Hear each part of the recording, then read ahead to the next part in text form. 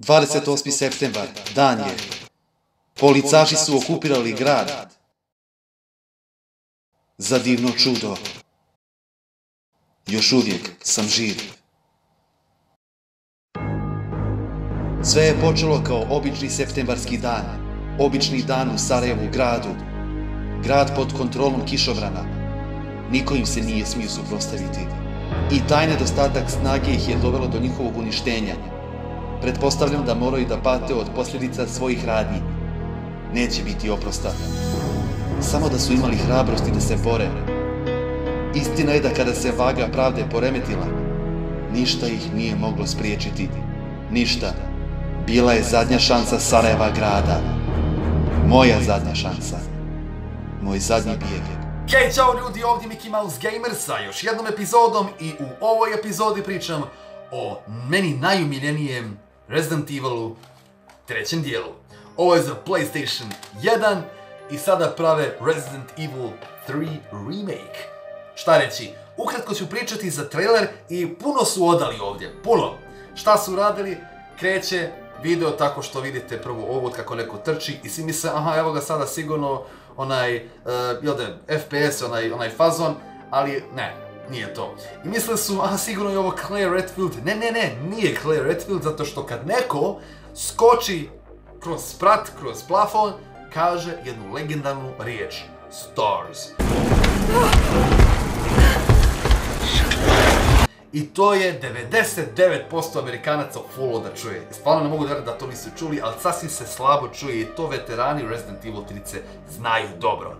Šta se kasnije dešava? Ona bježi i onda ide kroz taj hodnik koji je u požaru i znao sam da je taj uvod iz trice iz PlayStation 1 verzije kada je eksplozija baci.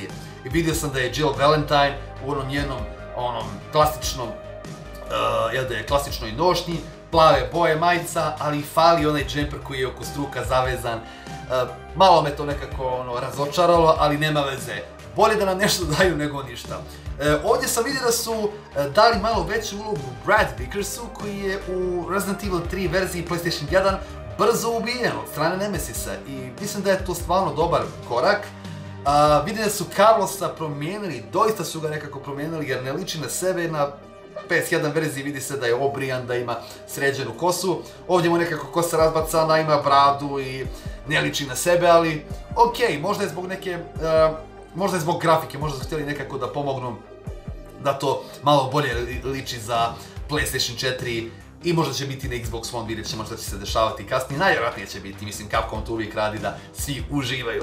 E, što se tiče trailera, mislim da sam sve rekao, osim jedne stvari koja, koja me baš obradovala. Vidio sam da su ubacili, da su implementirali ponovo dodge mehaniku, odnosno mehaniku odbijanja koja je prisutna na PlayStation 1 verziji, međutim, rijetko ko je znao to da iskoristi, to da uradi, jer e, baš ste morali da budete ono, ludo, ludo vezani za ovu igru. Šta to znači? Morali ste da znate pokrete neprijatelja. Kad krene neprijatelj prema vama, to jest kada izvrši napad, tad ste morali da stisnete R1 dugme za ciranje ili akcijno X dugme. Rijetko ko je to uspio i nekad je uspjelo, nekad nije. Tako isto meni bilo, ali vjerovali ili ne, to je ključ da biste završili igru i naravno da biste izbjegavali Nemesisa. Što se Nemesisa tiče, dobro ga izbjegavati, bolje ga izbjegavati, međutim, ako hoćete bolje naoružanje, ubijajte ga. On pada privremeno i opet ustaje. Međutim, dok pada, on vama uvijek nešto ostavlja. Možda mu padne, možda, dijel, možda mu padnu dijelovi od pištolja, pa drugi put padne, dru, padne drugi, drugi dijelovi od pištolja.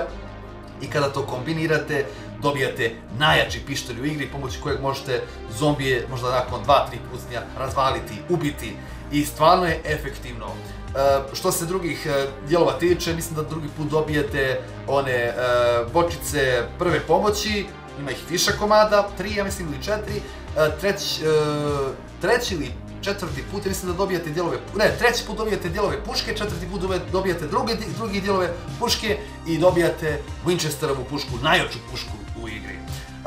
Stvarno je super i nakon toga nisam baš istraživao, nisam to radio, jer stvarno je preteška igra i morate konstantno da vodite računa o vašoj energiji. Što se priče tiče, stvarno se teorimuje, ali ovaj, šta je cilj ove igre? Preživljavanje. Jill Valentine bježi i pokušava da pobjegne iz grada Raccoon. I ovaj, ona nije jedina preživjela i nakon kratkog vremena sreće Brad Vickersa koji je napadnut u restoranu i onda ga nekako spasi, e, vi, ga, vi upucate zombije koji napada njega, on ode i nakon izvjesnog vremena ispred policijske stanice vi ga srećete i tu ga ubija Nemesis. Nemesis je u stvari implementiran od strane Umbrella korporacije koji su njega ubacili tu u tom gradu da sve svjedoke eksperimenta ugasi, ubije. Prvenstveno Stars vojnike ili Stars članove. To su zapravo Jill Valentine i Carlos. Carlosa isto ganja koliko ganja je Jill Valentine, tako da oboje želi da ubije i e, mislim da su oni nakon izvjesnog vremena jedini preživjeli u gradu jer nakon dugo vremena ubija i Nikolaja i druge koji su uvijek bili nekako uh, sa vama. Ima dosta negativaca, vidjet ćete kasnije ko su i šta su ako niste igrali u igru. Uh, šta se dešava? Ovdje konstantno morate voditi računa da, da uh, što manje upucate zombije, da, imate više više municije kroz čitavu igru. Kratki dio igre je policijska stanica koja je bila veliki dio igre na e, drugom dijelu i to mi se sviđa jer je nekako treći dio uvijek vezan za gledaj, slobodu, ideš malo e, na jednom dijelu grada, na drugom dijelu grada i sve s ciljem da uzmeš tu možda e, osigurač, ovdje možda da uzmeš ovaj, kako se kaže, ulje, pa onda miješaš ulje sa nekim dodatkom i tome slično i onda šta radiš, pokušavaš da upališ voz koji je nepokretan i u kojem se nalaze vojnici i preostali vojnici uh, Stars. I onda nakon toga vas sretne Nemesis kada vi krenete i ubije jednog od vaših vojnika i vi stignete u kući, odnosno jednom dvorcu, da tako da se tako izrazim, uh, Sahat Kuli, što mi kažemo, i vaš cilj je u toj igri, toj stazi, da pokrenete tu kulu, sahat kulu, da biste signalizirali helikopteru koji će vidjeti to i doći da vas spasi. Međutim, to se ne dešava, Nemesis razvaljuje, uzima bazuku i uništava helikopter i vi se nakon toga morate boriti protiv Nemesisa da bi on nakon izvesnog vremena uh, odustao i otišao.